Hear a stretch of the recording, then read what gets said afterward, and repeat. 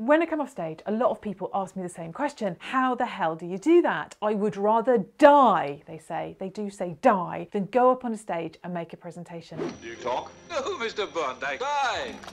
And I get it. I used to be really bad at it as well. I had to overcome my fear and I've had to be aware of a process to get better. I am not a natural presenter. So here are some of the things that have helped me overcome that fear and that barrier and maybe will also help you. First up is that the bar is pretty low. Most presentations are very, very standard, possibly dull. So you don't have to be amazing. You're not competing with Ginny and Georgia, my new favourite. I can't tell if I'm the crazy one or if everyone else is. I know I'm two years out of date. I don't want to hear it. I just love it. The second thing is you need to be really comfortable with your subject. A lot of presentations go wrong when somebody from finance gets asked to do a little bit of an update on HR. Suddenly the anxiety and awkwardness is bubbling out of them. They don't fully know what they're talking about. But at the other end of the risk is trying to convey too much complex data through a presentation. People can absorb one, two, maybe three points. You need to decide what those are in advance. Don't give them too much complexity. That's what handouts are for. That's what QR codes are for. There's other ways of getting out the detail that you need. Don't try and do it from the stage. Next up, don't be afraid to be interesting. I spoke to a CFO recently who said, you know what, I can't use all the stories and anecdotes and analogies and metaphors because, you know, I'm just presenting finance numbers. I would say absolutely the opposite. Use an analogy, use something that makes people laugh or picture something because that is what they're going to remember. And sometimes people worry that I'll be wasting time from the main content of the presentation, actually it's probably going to be the thing that lands the best. On a similar theme, don't be afraid of using time for audience interaction. As long as you're reasonably confident that a decent number of people are going to go, yeah, that changes the chemistry in the room, makes a big difference, well worth investing the time. On the point of time, of course, nobody ever criticised presentations for being too short, so always be comfortable keeping it tight. And finally, and perhaps most importantly, you have to turn up as who you are.